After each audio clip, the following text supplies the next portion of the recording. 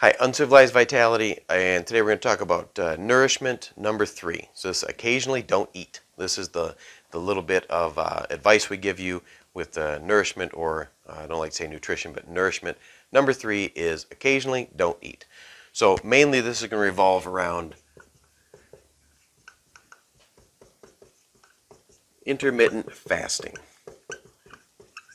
intermittent fasting. We can go through uh, intermittent fasting in more, or IF, in more detail in uh, future videos. Uh, different ways to do IF, 8 and 16, alternate day, um, 2s and 5s. There's all sorts of ways to do intermittent fasting. The good news about intermittent fasting uh, is that you already do it. You do it every day. Uh, when you go to sleep, we're just going to tweak the hours a little bit. Um, so let's explain what we mean about fasting. So you can think of yourself as having uh, two metabolic compartments. Uh, you're either uh, fed or fasted, right? And fed would include anything from mealtime to about, give or take, four to eight hours. Uh, we say post prandial, or just means after you've eaten. So uh, the fed state can end anywhere from four to eight hours after you've eaten, just depending on, depending on what you, you've eaten.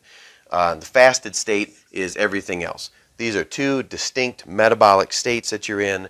Um, it's different uh, autonomic tone. There are different um, uh, levels of hormones, different activity levels. They're very, very different.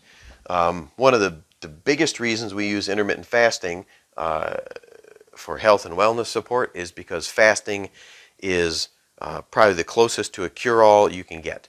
Uh, in the fasted state is when your immune system ramps up, when your growth hormone goes up, um, when you're making repair and building new structures. Okay, because it's very uh, energy intensive to digest food, mechanical digestion, chemical digestion, the absorption, the, the, the straining and delivery of nutrients is very energy intensive. So you will down turn down the amount of energy you're using or allocating for things like um, sweeping up for uh, damaged or old worn out cells and uh, building new uh, proteins and repairing structures, uh, storing and maintaining energy for future use. That's all in the rested or fasted state. Well, right after you've fed, um, you know, you've got to digest and deliver all that food and nutrients. Right? Intermittent fasting is uh, really just a technique that means timing your fasts to very specific periods. Human beings are designed to eat uh, and then just eat what you can hold, and then you just live your life until you can find more food to eat. In today's um, environment where food is uh, ubiquitous, it's constantly on on demand, market forces drive you to eat too much of it, it's hard to stay in a fasted state. Um, so we'll talk about some different techniques. Intermittent fasting just refers to timing your fasted states to get the most out of the fact that your body can uh, recover, uh, rejuvenate, restore uh, during the fasted state.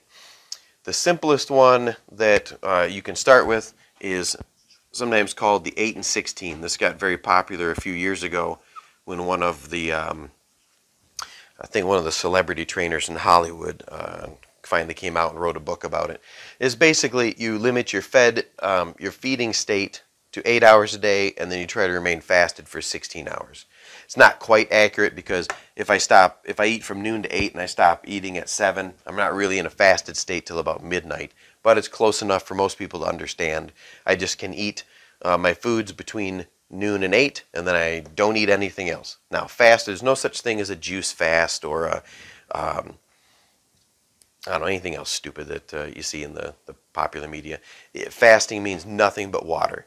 Uh, you could switch that up a little more and think of fasting as anything that doesn't induce uh, an insulin response. So you guess you could eat some fats and such, but for our purposes, we just think as fasted as nothing other than water and um, maybe some uh, sea salt or whatever passing your lips for those fasted hours, and then in the eight hours is when you're eating. Uh, a great way to explain the difference metabolically between fasted and fed is a guy called Dr. Jason Fung. And you can find that right here on YouTube. He's got a great uh, explanation of the two compartment model. Um, it's also found in his book, um, Fasting and the Obesity Code. Um, one of those books has a two compartment model. He talks about that. But you can check this video out. We'll put a link in the description. And then don't forget to uh, like the video, subscribe to the channel, and then uh, check out the other two nourishment uh, videos, The Real Food is Vital and Eating on Purpose.